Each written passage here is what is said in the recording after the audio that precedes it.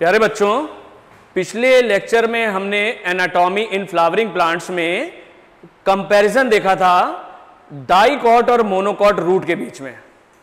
दोनों रूट्स में क्या क्या क्या चीज़ें कॉमन होती हैं और क्या क्या उनमें डिफरेंसेस होते हैं, ये हमने देखा था। आज के लेक्चर में हम लोग देखेंगे comparison between dicot and monocot stem dicot and monocot stem एक एक करके जरा देखते हैं। तो यहाँ पर anatomy of dicot and monocot stem comparison करते हैं। इधर कैरेक्टर दे रखे हैं, इधर डाइकॉट स्टेम के कैरेक्टर हैं, और यहाँ पर मोनोकॉट स्टेम के कैरेक्टर हैं। एक एक करके जरा देखते हैं। आउटर मोस्ट लेयर तुम तो जानते ही हो एपिडर्मिस होती है। एपिडर्मिस क्यों बोलते हैं? क्योंकि इसमें क्यूटिकल भी होता है रूट में इसको एपिब्लेमा बोलते हैं, क्योंकि वहाँ पे क्यूटिकल नहीं है। एपिडर्मिस डाइकोट स्टेम में सिंगल लेयर्ड है विद मल्टी सेल्यूलर हेयर्स अब यहाँ पर अंतर हो गया। देखो रूट्स में हम जो हेयर होते हैं रूट हेयर्स वो यूनिसेल्यूलर होते हैं। लेकिन जो स्टेम के ऊपर हेयर्स होते हैं, वो मल्टी होते हैं। स्टेम के हेयर कैसे होते हैं? स्टेम के हेयर्स जो होते हैं, वो मल्टी कैसे हैं? मल्टी इनको हम ट्राइकोम्स भी कह सकते हैं। इनको क्या कह सकते हैं? स्टेम हेयर्स को हम लोग ट्राइकोम्स भी कहते हैं। और ट्राइकोम्स स्टेम हेयर्स को हम लोग ट्राइकोम्स भी कहते हैं। तो डाइकॉट स्टेम की एपिडर्मिस, यहाँ पर ये सिंगल लेयर्ड है और इसमें मल्टी सेल्यूलर स्टेम हेयर्स हैं। जबकि रूट हेयर्स कैसे थे? यूनिसेलुलर। यहाँ पर मोनोकॉट स्टेम में आते हैं। यहाँ पर भी एपिडर्मिस एक ही लेयर की बनी है, सिंगल लेयर्ड है, लेकिन यहाँ पर हेयर्स नहीं होते, विदाउट हेयर्स है। कैसी है? यहाँ पर हेयर्स नहीं है, without hairs usually hairs absent होते हैं। एपिडर्मिस के नीचे यहाँ पर हाइपोडर्मिस है, डाइकॉट स्टेम में। जबकि डाइकॉट रूट में कॉटेक्स सीधे था यहाँ पर हाइपोडर्मिस है। डाइकॉट स्टेम की हाइपोडर्मिस कोलेन काइमा की बनी होती है। कोलेन काइमेटस है। कैसी है? कोलेन काइमेटस है। जबकि मोनोकॉट स्टेम की हाइपोडर्मिस स्क्लेरन काइमेटस है। कैसी है? Sclerenchymatous. तो एपिडर्मिस के नीचे हाइ, हाइपोडर्मिस है डाइकॉट स्टेम में कोलेन काइमेटस है और मोनोकॉट स्टेम में स्क्लेरन काइमेटस। तो ये ध्यान देना ये ये कोलिन काइमेटस है, वो कैसी है? स्क्लेरन काइमेटस। हाइपोडर्मिस के बाद नीचे कॉटेक्स है। क्या है ये? कॉटेक्स है। कॉटेक्स यहाँ पर डाइकॉट स्टेम में वेल डेवलप्ड है। कॉटेक्स वेल डेवलप्ड है। हाइपोडर्मिस को आउटर कॉटेक्स माना जा सकता है।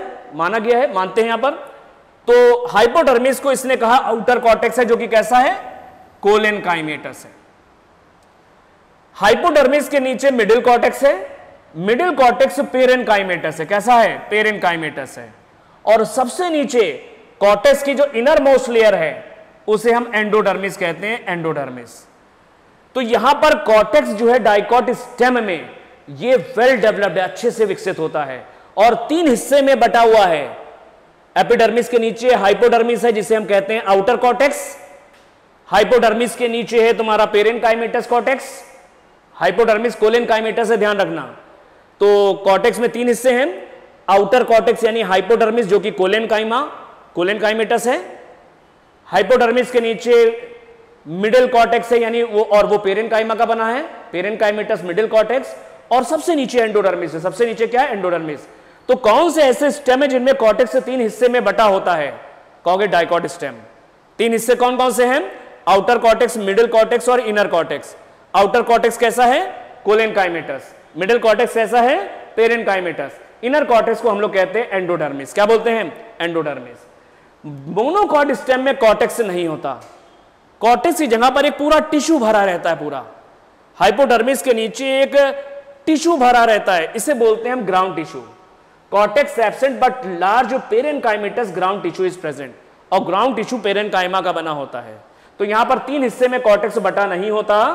ग्राउंड टिश्यू पाया जाता है मोनोकॉट स्टेम के अंदर हाइपोडर्मिस के नीचे सारा एक जैसा टिश्यू भरा रहता है, जो कि पेरेन कायमा का बना है, इसे हम कहते हैं ग्राउंड टिश्यू तो यहाँ पर फ़र्क हो गया, इन तीनों में कंपेयर कर लेते हैं।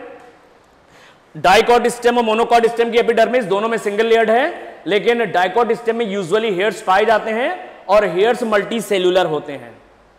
कॉटेक्स की बात करते हैं। सॉरी हाइपोडर्मिस की बात करते हैं। डाइकॉट स्टेम में जो हाइपोडर्मिस है, वो कोलेन कायमा की बनी है एपिडर्मिस के नीचे है। मोनोकॉट स्टेम में भी एपिडर्मिस के नीचे हाइपोडर्मिस है, लेकिन वो स्क्लेरन कायमा की बनी है। कौन से ऐसे स्टेम है जिनके अंदर कॉटेक्स तीन हिस्से में, तीन जोन्स में बटा हुआ है? कहोगे dicot stem outer cortex hypodermis को मानते हैं कोलेन कायमा की बनी है।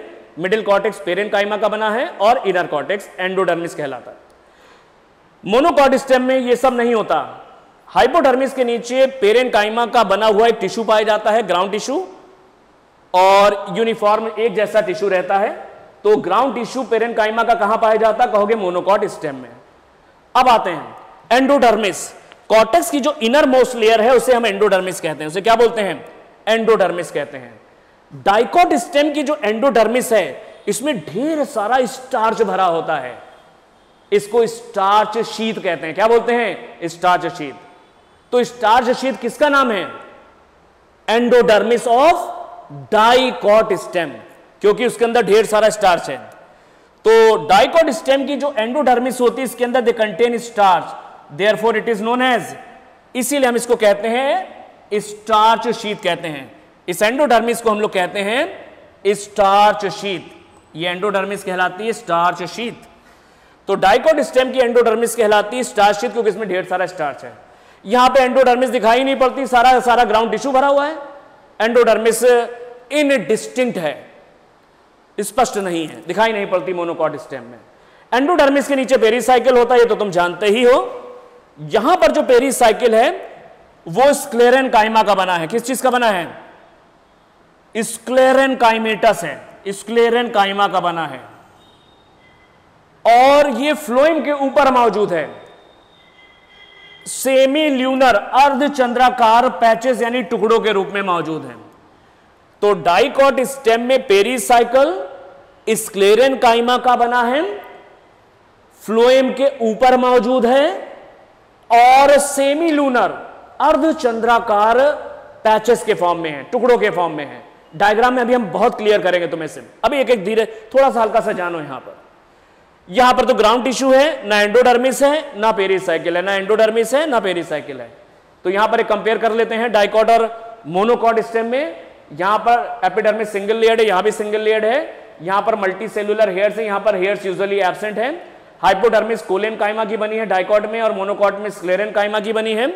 यहाँ पर यहाँ पर कॉटेक्स तीन हिस्से में बटा है आउटर मिडिल और इनर यहाँ पर कॉटेक्स हिस्सों में बटा नहीं होता, लेकिन कॉटेक्स की जगह पर पेरेन काइमा का बना हुआ ग्राउंड टिश्यू मौजूद है। यहाँ पर एंडोडर्मिस की सेल्स के अंदर ढेर सारा स्टार्च है। इसे स्टार्च शीत कहते हैं, जबकि मोनोकॉट स्टेम में एंडोडर्मिस डिस्ट्रिक्ट नहीं है एबसेंट है। पेरीसाइकिल यहाँ पर स्क्लेरन काइमा का है। छोटे छोटे टुकड़ों के रूप में फ्लोएम के ऊपर है और ये टुकड़े अर्ध चंद्राकार हैं सेमी ल्यूनर हैं। कैसा शेप इनका? सेमी ल्यूनर तो पेरीसाइकिल स्क्लेरन काइमा का है फ्लोएम के ऊपर मौजूद है और छोटे छोटे टुकड़ों, यानी सेमी लूनर पैचेस के फॉर्म में। यहाँ पर ना एंडोडर्मिस क्लियर है, ना ही पेरीसाइकिल क्लियर होती है। तो एंडोडर्मिस पेरीसाइकिल तुम्हें डाइकॉट स्टेम में देखने को मिलती है। अब जरा देखते हैं आगे। अब आते हैं मेडुलरी रेस जाइलम और फ्लोएम के बीच में जाइलम और फ्लोएम के बीच में पाई जाती है पेरेन काइमा की बनी हुई मेडुलरी रेस मेडुलरी रेस कहाँ होती हैं? जाइलम और फ्लोएम के बीच में होती हैं और पेरेन काइमा की बनी होती है। देखते हैं parenchymatous medullary rays are present between vascular bundle.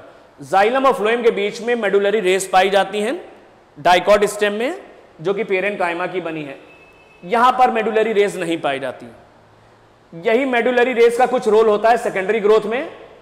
इसीलिए डाइकॉट स्टेम में सेकेंडरी ग्रोथ तो देखने को मिलती है, मोनोकॉट स्टेम में नहीं होती। यहाँ पर मेडुलरी रेस पाई जाती हैं।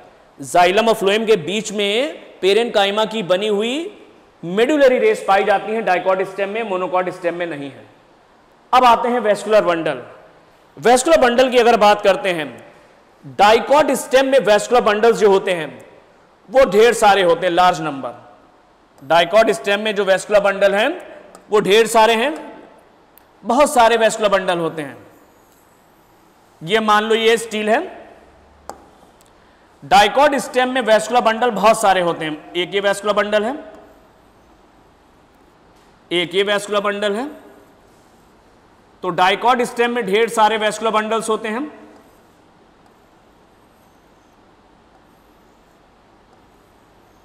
Large number of vascular bundle.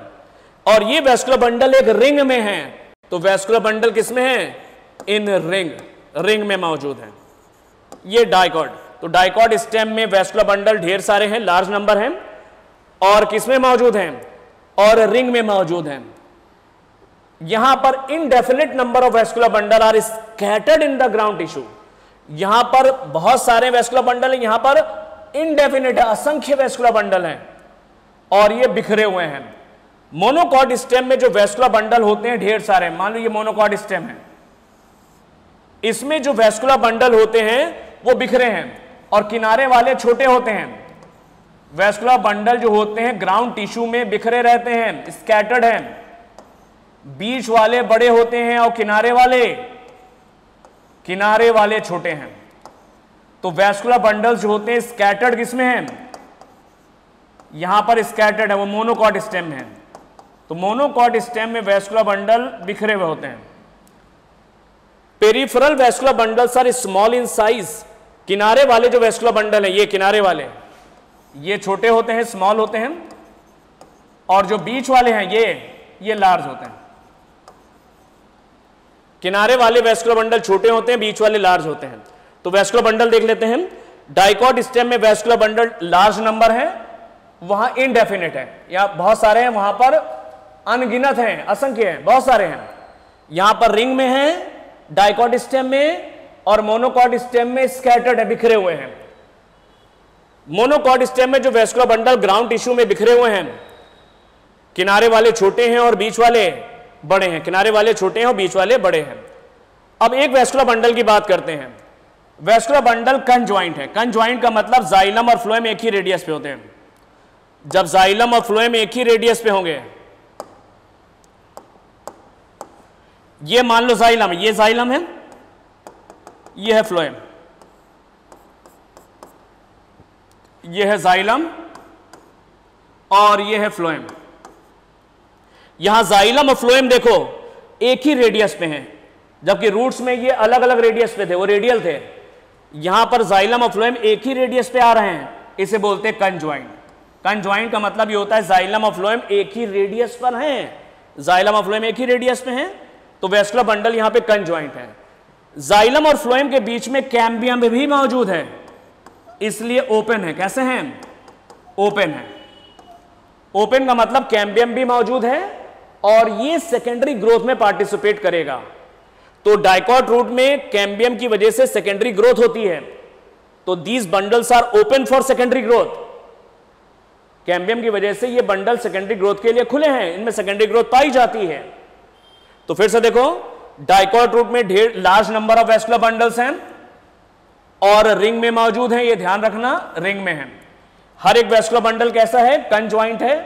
कन ज्वाइंट का मतलब जाइलम और फ्लोएम एक ही रेडियस पे है और कैम्बियम है जो कि सेकेंडरी ग्रोथ में पार्टिसिपेट करेगा। ओपन है, कैसे है? ओपन है। मोनोकॉट स्टेम में देखते हैं। मोनोकॉट स्टेम का एक वेस्कुलर बंडल अगर हम बाहर निकाल के देखें, एक वेस्कुलर बंडल निकाल लेते हैं ये वाला। इसको अगर हम बाहर निकाल के देखते हैं तो यहाँ पर वेस्कुलर बंडल हमको कैसा दिखता है? यहाँ पर वेस्कुलर बंडल अगर हम देखें, ये जाइला में सपोज़ करो, और ये फ्लोएम है। ये जाइलम है, और ये फ्लोएम है। यहाँ पर भी जाइलम और फ्लोएम एक ही रेडियस पे है, अगर ऐसे बनाओगे ऐसे। जाइलम और फ्लोएम क्या है? एक ही रेडियस पे है तो यहाँ पर भी कंज्वाइंट है। क्या है ये? कंज्वाइंट है। लेकिन कैम्बियम नहीं है। नो कैम्बियम इसमें कैम्बियम नहीं पाया जाता।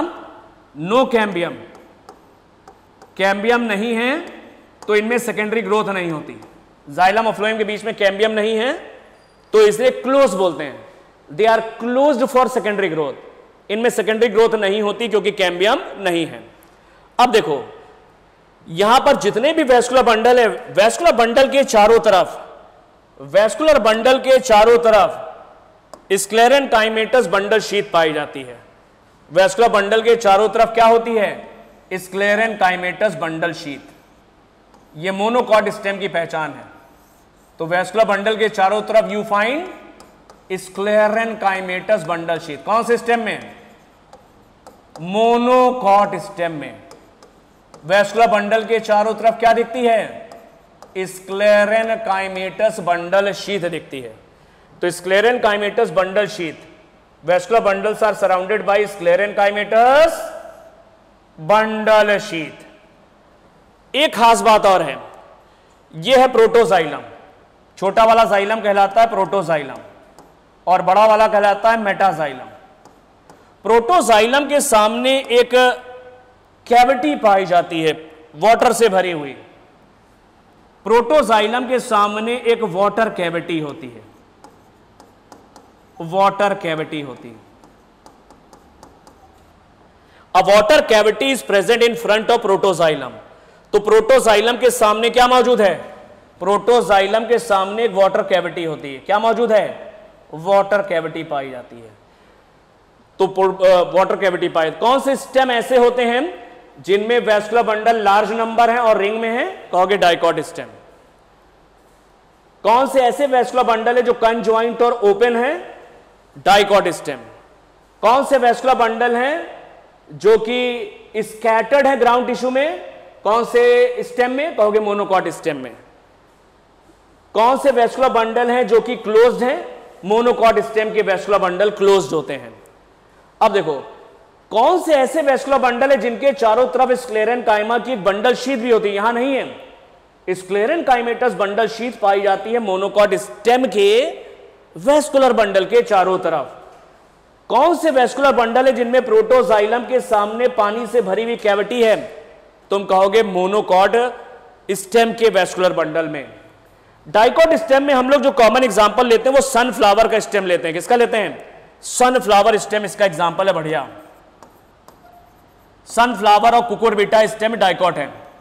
सनफ्लावर का स्टेम और कुकुरबिटा कुकुरबिटा का स्टेम, कद्दू का स्टेम, ये डाइकॉट स्टेम के एग्ज़ाम्पल है। ये ध्यान रखना। और मोनोकॉट स्टेम के एग्ज़ाम्पल है मेज स्टेम, मक्के का स्टेम। मेज और वीट स्टेम। तो मेज का स्टेम है, मक्के का स्टेम। ये मोनोकॉट स्टेम है। एक बार बेटा क्वेश्चन आया। कौन सा इनमें स्टेम है जिसमें एक वाटर फ़ील्ड कैविटी होती है प्रोटोजाइलम के सामने? और उसमें मोनोकॉट डाइकॉट नहीं दे रखा था। आंसर में था मेज स्टेम। क्या था? मेज स्टेम। तो मेज के स्टेम में तुमको प्रोटोजाइलम के सामने एक वाटर फ़ील्ड कैविटी देखने को मिलती है। इतना देर कंपेयर करते हैं। देखो, कौन से ऐसे स्टेम है जिनकी एंडोडर्मिस को हम स्टार्च शीत कहते हैं? तुम कहोगे डाइकॉट स्टेम। क्योंकि इसकी एंडोडर्मिस में क्या है? ढेर सारा स्टार्च है। कौन से ऐसे स्टेम हैं जिनके वेस्कुलर बंडल के चारों तरफ़ स्क्लेरन काइमेटस बंडल शीत है? तुम कहोगे मोनोकॉट स्टेम कौन से ऐसे वेस्कुलर बंडल हैं जिनमें कॉटेक्स तीन हिस्से में बटा है? आउटर मिडल कॉटेक्स और इनर कॉटेक्स कहोगे डाइकॉट स्टेम में। कौन से ऐसे स्टेम है जिनमें हाइपोडर्मिस स्क्लेरन काइमा की बनी है? तुम कहोगे मोनोकॉट स्टेम किसमें? मोनोकॉट स्टेम कौन से ऐसे स्टेम है जिसमें वेस्कुलर बंडल, ग्राउंड टिश्यू में स्कैटर्ड है, बिखरे हैं? तुम कहोगे मोनोकॉट स्टेम। आगे और देखते हैं। आगे और देखते हैं। नेक्स्ट पित्त की अगर बात करते हैं, पित्त की अगर बात करते हैं तो पेरेन काइमेटस होता है। पेरेन काइमा का बना होता है डायकॉट में पित्त, और उसमें पित्त की सेल्स के बीच में ढेर सारे, पित्त की सेल्स के बीच में ढेर सारे इंटरसेल्यूलर स्पेसेस होते हैं। क्या है ये? इंटरसेल्यूलर स्पेसेस होते हैं। यहाँ पर मोनोकॉट स्टेम में पिथ नहीं होता। अरे गेहूँ और चावल का अगर पिथ काटोगे, अगर स्टेम का सेक्शन काटोगे तो खोखला अंदर से निकलता है। तो पिथ नहीं है, उसकी जगह क्या मौजूद है? पिथ कैविटी है। क्या है? Pith cavity. तो स्टेम का सेक्शन काटोगे, अंदर पिथ गैप है। वहाँ पर खाली स्थान है पिथ कैविटी मौजूद है। तो पिथ जो होता है पेरेन होता है, और ढेर सारे उसमें होते हैं इंटरसेलुलर स्पेसेस। और पिथ डाइकॉट स्टेम में वेल डेवलप्ड है। कैसा है? वेल डेवलप्ड है पिथ यहाँ पर वेल डेवलप्ड है पिथ वहाँ पर पिथ नहीं है, वहाँ पर कैविटी है। पिथ कैविटी वहाँ पर मौजूद है। पिथ गैप है उसकी यहाँ कैविटी है। तो अगर पूछा जाए पिथ वेल डेवलप्ड कहाँ होता है? पिछले लेक्चर में हमने बताया था मोनोकॉट रूट में पिथ वेल डेवलप्ड है और यहाँ पर डाइकॉट स्टेम तो मोनोकॉट रूट और डाइकॉट स्टेम में पिथ कैसा होता है? अच्छे से विकसित होता है अच्छे से विकसित होता है। अब देखो कुछ एक्सेप्शन है, यहाँ पर दो एक्सेप्शन दे रखे हैं। ट्रिटिकम एक मोनोकॉट है, लेकिन यहाँ पर वेस्कुलर बंडल्स जो होते हैं रिंग में होते हैं। ट्रिटिकम गेहूँ का पौधा एक मोनोकॉट ज़रूर है, लेकिन वेस्कुलर बंडल रिंग में पाए जाते हैं डाइकॉट स्टेम की तरह। तो ये एक्सेप्शन है। और दो रिंग में होते हैं, एक रिंग नहीं होती, दो रिंग होते हैं वेस्कुलर बंडल के। कुकुर बिटा एक डाइकॉट स्टेम है तो यहाँ, और यहाँ पर बीच में से खोखला होता है पित कैविटी होती है मोनोकॉट स्टेम की तरह। तो कुकुर बिटा एक डाइकॉट स्टेम है और इसमें पिथ कैविटी पाई जाती है, मोनोकॉट स्टेम की तरह। तो ये दो एक्सेप्शन याद रखना, कौन सा ऐसा मोनोकॉट है जिसमें वेस्कुलर बंडल स्कैटर्ड नहीं है, रिंग में है? तुम कहोगे वीट। कौन सा ऐसा डाइकॉट है जिसमें पिथ की जगह पर पिथ कैविटी है? तुम कहोगे कुकुर बेटा, यानी कद्दू का स्टेम।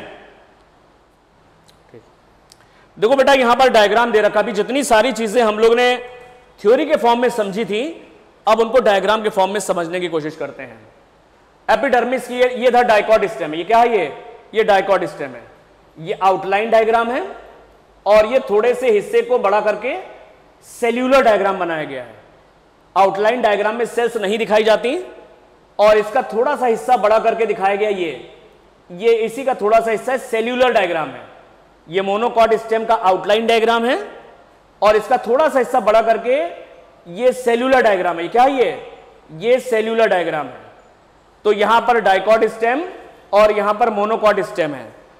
हम लोग देखते हैं दोनों में कंपेयर पहले देखते हैं एपिडर्मिस डाइकॉट स्टेम की एपिडर्मिस और मोनोकॉट स्टेम की एपिडर्मिस दोनों सिंगल लेयर्ड है। ये भी सिंगल लेयर्ड है और ये भी सिंगल लेयर्ड है। लेकिन डाइकॉट स्टेम की एपिडर्मिस में हेयर्स है, क्या है? एपिडर्मल हेयर्स है। क्या है यहाँ पर? एपिडर्मल हेयर्स और एपिडर्मल हेयर्स कैसे होते हैं? ध्यान रखना। एपिडर्मल हेयर्स कैसे होते हैं? मल्टी सेल्यूलर है। कैसे हैं? मल्टी सेल्यूलर होते हैं। इनको ट्राइकोम्स भी कहा जा सकता है। एपिडर्मिस के नीचे हाइपोडर्मिस है। हाइपोडर्मिस हमने कहा था किसकी बनी है? कोलेन काइमा की है। किसकी है? कोलेन काइमेटस और यहाँ पर, नीचे देखो हाइपोडर्मिस यहाँ की हाइपोडर्मिस स्क्लेरन काइमा की बनी है। स्क्लेरन काइमेटस है। कैसी है? स्क्लेरन काइमेटस है। तो डाइकॉट स्टेम की है एपिडर्मिस सिंगल लेयर्ड यहाँ भी सिंगल लेयर्ड यहाँ पर स्टेम के ऊपर हेयर्स हैं मल्टी सेलुलर हेयर्स हैं। यहाँ पर हेयर्स यूजुअली एबसेंट हैं। एपिडर्मिस के नीचे ये जो बनी है इसमें, ये हाइपोडर्मिस है। क्या ये? हाइपोडर्मिस यहाँ कोलेन काइमेटस है और यहाँ हाइपोडर्मिस ये हाइपोडर्मिस स्क्लेरन काइमेटस है। कैसी है? स्क्लेरन काइमा की बनी है। अब देखो डाइकॉट स्टेम में जो एंडोडर्मिस है इसमें ढेर सारा स्टार्च होता है, इसीलिए इसको हम बोलते हैं स्टार्च शीत। क्या बोलते हैं? स्टार्च शीत कहते हैं। डाइकॉट स्टेम की एंडोडर्मिस एंडोडर्मिस को हम लोग कहते हैं स्टार्च शीत। पेरीसाइकिल यहाँ पर मौजूद है, एंडोडर्मिस के नीचे पेरीसाइकिल मौजूद है। यहाँ पर हाइपोडर्मिस के नीचे, यहाँ पर हाइपोडर्मिस के नीचे जो हरे से दिखाई पड़ रहा है, ये ग्राउंड टिश्यू है। क्या ये ये हरा हरा जो भरा हुआ है, सब पूरा ग्राउंड टिश्यू है। यहाँ ना एंडोडर्मिस दिखती है, ना ही पेरीसाइकिल दिखती है। कोई एंडोडर्मिस पेरीसाइकिल नहीं दिख रही। सारा ग्राउंड टिश्यू भरा है। तो यहाँ यहाँ पर देखो वेस्कुलर बंडल ढेर सारे हैं रिंग में हैं। यहाँ पर वेस्कुलर बंडल लार्ज नंबर है और यहाँ इनडेफिनेट नंबर है। और स्कैटर्ड है ग्राउंड टिश्यू में। किनारे वाले वेस्कुलर बंडल छोटे हैं और बीच वाले वेस्कुलर बंडल ये बड़े बने हुए हैं। यहाँ पर हाइपोडर्मिस कोलियन काइमेटस है, यहाँ पर हाइपोडर्मिस स्क्लेरन काइमेटस है। अब देखो, यहाँ पर अगर हम देखते हैं पेरीसाइकिल पेरीसाइकिल हमने बताया, ये है पेरीसाइकिल, डाइकॉट स्टेम में। पेरीसाइकिल यहाँ पर ये ऐसा है, ये ये है पेरीसाइकिल, ये है पेरीसाइकिल। तो पेरीसाइकिल देखेंगे हम डाइकॉट स्टेम में। पेरीसाइकिल में तीन खास बातें थी। ये स्क्लेरन काइमेटस था कैसा था? स्क्लेरन काइमा का बना है। स्क्लेरन काइमेटस है। और किसके ऊपर है? ये फ्लोएम है। अबव दी फ्लोएम है। फ्लोएम के ऊपर है। ये फ्लोएम है नीला वाला? फ्लोएम के ऊपर है। अबव दी फ्लोएम है। और कैसा शेप है? सेमी लूनर पैचेस है। कैसे टुकड़े हैं ये? ये अर्धचंद्राकार सेमी ल्यूनर पैचेस के फॉर्म में है। सेमी ल्यूनर पैचेस के फॉर्म में है। तो डाइकॉड स्टेम में जो पेरिसाइकिल है, उसमें तीन खास बातें ध्यान रखना। स्क्लेरन काइमेटस है स्क्लेरन काइमा का बना है, फ्लोएम के ऊपर है अबव दी फ्लोएम है, और अर्धचंद्राकार है। सेमी ल्यूनर पैचेस के फॉर्म में सेमी ल्यूनर पैचेस के फॉर्म में है। जाइलम और फ्लोएम के बीच में, ये जाइलम है और ये फ्लोएम है, बीच में कैम्बियम भी है। डाइकॉट स्टेम में हमने क्या बताया था? जाइलम और फ्लोएम के बीच में कैम्बियम है। तो और यहाँ पर सेकेंडरी ग्रोथ होगी तो ये ओपन वेस्कुलर बंडल है। कैसे हैं? ओपन जाइलम और फ्लोएम एक ही रेडियस में है। यहाँ पर देख लो, ये जाइलम है, ये फ्लोएम है, बीच में कैम्बियम है। वही यहाँ पर बड़ा करके दिखा रखा है। ये जाइलम है, ये फ्लोएम और बीच में कैम्बियम है। ये जाइलम है, ये फ्लोएम है और बीच में क्या है? कैम्बियम है।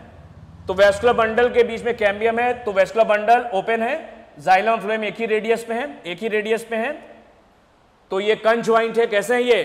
कंज्वाइंट है। सेंटर पे पिथ है, बीच में पिथ है, और पिथ में की सेल्स के बीच में क्या है? पिथ की सेल के बीच में ढेर सारे इंटर सेलुलर स्पेसेस हैं, और पिथ जो है वेल डेवलप्ड है। कैसा है यहाँ? यहाँ वेल डेवलप्ड है। मोनोकॉट स्टेम में देखते हैं मोनोकॉट स्टेम में जो वेस्कुलर बंडल हैं, ये बिखरे हुए हैं, स्कैटर्ड हैं, ये बिखरे रहते हैं। यहाँ एंडोडर्मिस और पेरीसाइकिल दिखाई नहीं पड़ता। ग्राउंड टिश्यू दिखता है, ये जो हरे से बना है।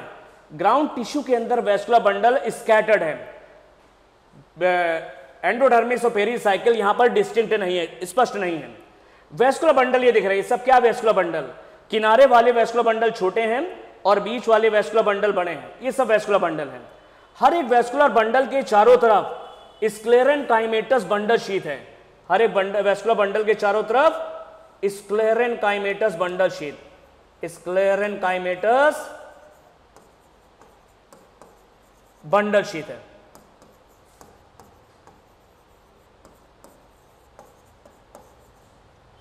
तो वेस्कुलर बंडल के चारों तरफ़ स्क्लेरन काइमेटस बंडल शीत है। अब देखो जाइलम और फ्लोएम के बीच में नीला वाला फ्लोएम है और ये लाल वाला जाइलम है। कोई कैम्बियम नहीं है। तो वेस्कुलर बंडल कैसे है? क्लोज है। वेस्कुलर बंडल क्लोज है। प्रोटोजाइलम के सामने कैविटी दिखाई पड़ रही है। ये। इसको जरा बड़ा करिए जरा। प्रोटोजाइलम के सामने कैविटी दिखाई पड़ रही है। ये वाटर कैविटी क्या है ये? ये है वाटर कैविटी क्या है ये? दिस इज़ वाटर कैविटी तो वाटर कैविटी मोनोकॉट स्टेम की पहचान है। प्रोटोजाइलम के सामने you find a water cavity पानी से भरी हुई कैविटी है। मोनोकॉट स्टेम में देखने को मिलती है। पहले ऊपर वाला इसको थोड़ा सा हाईलाइट करिए, यहाँ से बताते हैं, फिर इसको हाईलाइट करिएगा। एक बार फाइनल बताते हैं ऊपर से।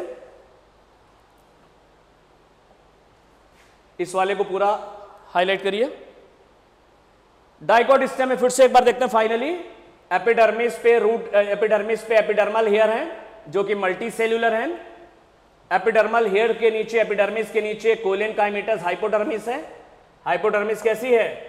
हाइपोडर्मिस कोलेन काइमेटस है। ये कोलेन काइमा की बनी है हाइपोडर्मिस। कोलेन काइमा लिखा है, ये हाइपोडर्मिस हो गई। हाइपोडर्मिस के नीचे तुम्हारी एंडोडर्मिस है। एंडोडर्मिस में ढेर सारा स्टार्च होता है। ये होना चाहिए एंडोडर्मिस। एंडोडर्मिस एंडोडर्मिस के अंदर ढेर सारा स्टार्च होता है, इसलिए इसको क्या बोलते हैं? स्टार्च शीत तो डाइकॉट स्टेम की एंडोडर्मिस को हम लोग क्या कहते हैं? स्टार्च शीत बोलते हैं। एंडोडर्मिस के नीचे पेरीसाइकिल है ये। पेरीसाइकिल स्क्लेरन काइमा का बना है। फ्लोएम के जस्ट ऊपर है और सेमी ल्यूनर है। कैसा ये? सेमी लूनर है। जाइलम जाइलम और फ्लोएम के बीच में कैम्बियम है। वेस्कुलर बंडल ओपन है। कैम्बियम की वजह से डाइकॉट स्टेम में सेकेंडरी ग्रोथ भी होती है। जाइलम और फ्लोएम एक ही रेडियस में है। ऐसे देख लो, ये एक वेस्कुलर बंडल है, ये जाइलम है, ये फ्लोएम है, एक ही रेडियस में है एक ही सॉरी जाइलम फ्लोएम एक ही रेडियस में है तो इसको वेस्कुलर बंडल को हम लोग कहेंगे कंज्वाइंट तो जाइलम और फ्लोएम एक ही रेडियस में है। तुम ये वाला वेस्कुलर बंडल ऐसे समझो, ये बना है ये वाला। ये वाला वेस्कुलर बंडल इसको ये बड़ा करके बना रखा है ऐसे। तो जाइलम और फ्लोएम एक ही रेडियस में है। वेस्कुलर बंडल कैसे है? कन ज्वाइंट है। चूँकि कैम्बियम में मौजूद है तो ये ओपन है कैसे? है ओपन है। और पिथ कैसा है? पिथ वेल डेवलप्ड है। पिथ कैसा है? वेल डेवलप्ड है। तो डाइकॉट स्टेम में मेन मेन फीचर ध्यान रखना। Epidermis with multicellular epidermal hairs पहली बात। दूसरी बात हाइपोडर्मिस कैसी है? कोलेन काइमेटस है। कैसी है? कोलेन काइमेटस तीसरी एंडोडर्मिस में खूब सारा स्टार्च है। स्टार्च शीत कहलाती है। क्या कहलाती है? स्टार्च शीत चौथी बात पेरीसाइकिल स्क्लेरन काइमेटस है फ्लोएम के ऊपर है और सेमी ल्यूनर पैचेस के फॉर्म में है। जाइलम और फ्लोएम के बीच में कैम्बियम मौजूद है। वेस्कुलर बंडल लार्ज नंबर है रिंग में है जाइलम और फ्लोएम के बीच में कैम्बियम मौजूद है ओपन है सेकेंडरी ग्रोथ के लिए, और वेल डेवलप्ड पिथ है। वेल डेवलप्ड पिथ पाया जाता है। इसको जरा बड़ा करिए, जरा मोनोकॉट वाले को। मोनोकॉट स्टेम के थोड़ा सा डिटेल यहाँ पर फिर से देखते हैं। इस वाले को देखते हैं। मोनोकॉट स्टेम की भी एपिडर्मिस सिंगल लेयर्ड है, लेकिन यूजुअली यहाँ पर एपिडर्मिस कैसी है? सिंगल लेयर्ड है, लेकिन यूजुअली रूट हेयर्स एबसेंट है। रूट हेयर्स नहीं पाए जाते। यहाँ की जो हाइपोडर्मिस है, ये जो हाइपोडर्मिस है, ये स्क्लेरन काइमेटस है। कैसी है? ये स्क्लेरन काइमेटस है। वहाँ पर कोलेन काइमेटस थी। यहाँ पर कैसी है? ये स्क्लेरन काइमेटस है। ध्यान रखना। स्क्लेरन काइमा की वजह से स्टेम थोड़ा हार्ड हो जाता है इसका। मोनोकॉट के स्टेम हार्ड होते हैं थोड़े, क्योंकि हाइपोडर्मिस स्क्लेरन काइमेटस है। अब देखो एंडोडर्मिस और पेरीसाइकिल यहाँ दिखाई ही नहीं पड़ रहे इनडिस्टिंक्ट हैं। उसकी जगह ये हरा हरा जो दिख रहा है, ये ग्राउंड टिश्यू है। इसमें बहुत सारे वेस्कुलर बंडल है इनडेफिनिट नंबर ढेर सारे वेस्कुलर बंडल हैं और स्कैटर्ड हैं। कैसे स्कैटर्ड हैं। किनारे वाले वेस्कुलर बंडल छोटे हैं पेरीफरल और सेंटर वाले थोड़े बड़े साइज़ के हैं। हर एक वेस्कुलर बंडल के चारों तरफ़ स्क्लेरन काइमेटस बंडल शीत है। ये ध्यान रखना, जाइलम और फ्लोएम के बीच में कोई कैम्बियम नहीं है तो वेस्कुलर बंडल क्लोज है, सेकेंडरी ग्रोथ नहीं होती मोनोकॉट स्टेम में। और प्रोटोजाइलम के सामने क्या मौजूद है ये? प्रोटोजाइलम के सामने water filled cavity water cavity पाई जाती है। यहाँ पर पिथ ऐसा ऐसा दिखाई नहीं पड़ रहा, क्योंकि ग्राउंड टिश्यू पूरा भरा हुआ है। पिथ वेल डेवलप्ड है।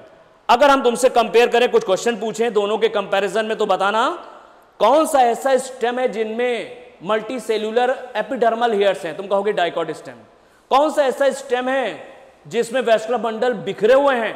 ढेर सारे इंडेफिनेट तुम कहोगे मोनोकॉट स्टेम कौन से ऐसा स्टेम है जिसमें वेस्कुलर बंडल के बीच में कैम्बियम भी मौजूद है? ओपन वेस्कुलर बंडल है.